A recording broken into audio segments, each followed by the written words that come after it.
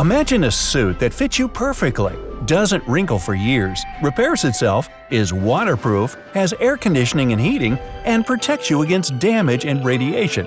And it's all for free. You're wearing it right now. This is your skin, or as they call it in Texas, your skin.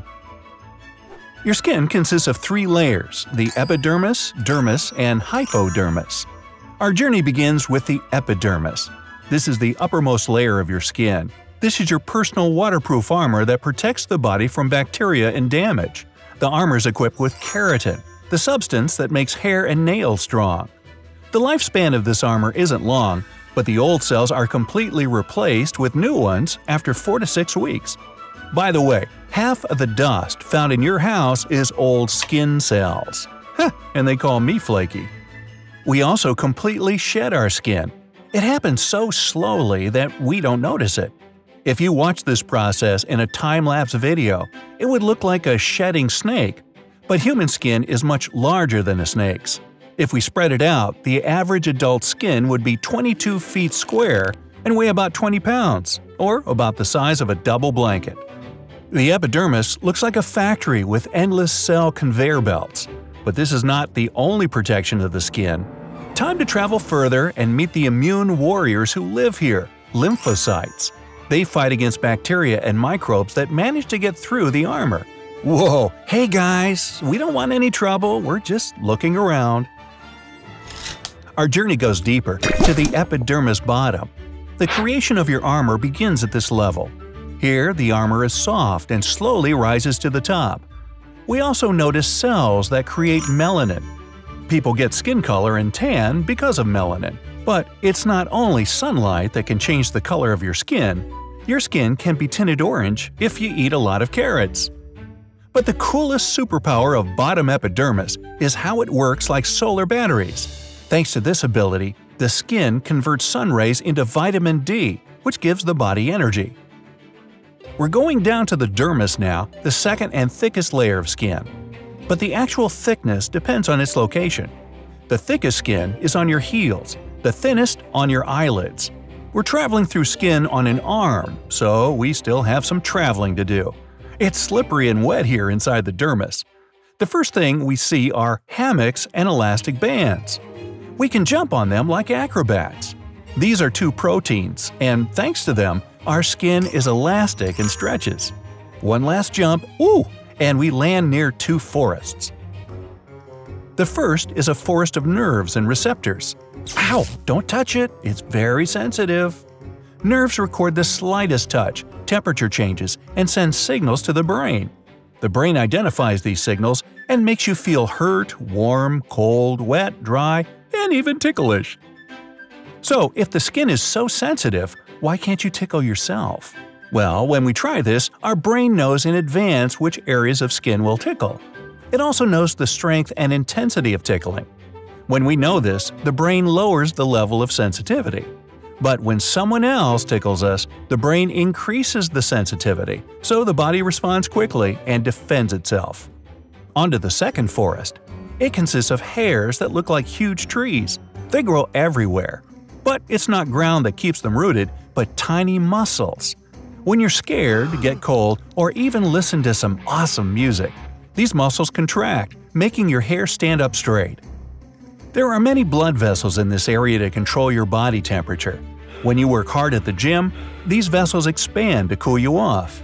If you walk on the cold street and forget to wear warm clothes, your blood vessels tighten to keep as much warmth as it can. But if you run a marathon under the hot sun, look, your skin is releasing sweat from here. By the way, sweat actually doesn't have a smell. It only smells bad once it comes in contact with skin bacteria. Well, now that we've cooled down, time to go further. This level is so beautiful and fascinating. The structure of the whole skin depends on the dermis.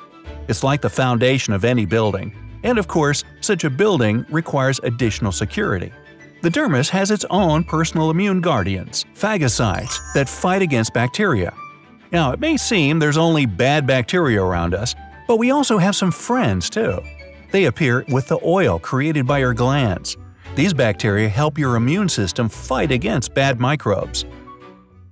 Time to dive down to the deepest level of the skin, the hypodermis. It's very soft and greasy here because of fat. The fat is everywhere. But it's thanks to this fat that we can sit comfortably on our backsides. But this is not the only good function of fat. The body needs fat when we're hungry. The fat is used like a fuel and also soft protection for organs and muscles. But the coolest thing is fat produces the leptin hormone. After dinner, you feel full. It's not because your stomach is actually full, but because the leptin hormone tells you it is. That's right, fat controls your appetite, not your stomach. Let's say one small but very sneaky bacterium has managed to squeeze through and avoid the immunity warriors. Then it gets into the dermis, swims through the oil glands, walks through the hair forest, and runs away from the phagocytes to dive deep into the fat layer. The bacterium has passed all skin protection levels, and it's now going to infect the body. But not so fast. It gets in big trouble now.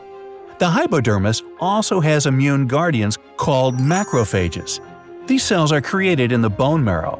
At the first alarm of trouble, this group of warriors arrives and destroys the uninvited guests. And now we're going to see the coolest skin feature of all – regeneration. When we get hurt, the wound is covered with a blood clot. This shell gets hard outside to protect the body from foreign organisms. Then fibroblasts appear inside the clot. These guys repair the wound with scar tissue. And the scar tissue is important here. Oh, by the way, these guys don't belong to a labor union, but they work anyway. That's why they're called scabs.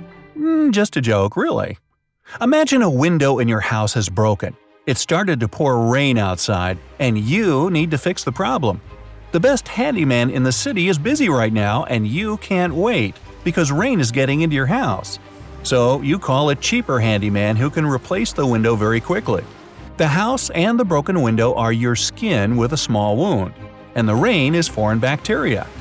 What is the cheaper handyman? Scar tissue. Ordinary skin consists of fibers going in every direction, but scar tissue has only parallel fibers.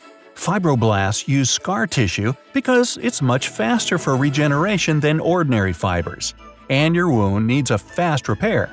That's why the skin on your scars looks a little different.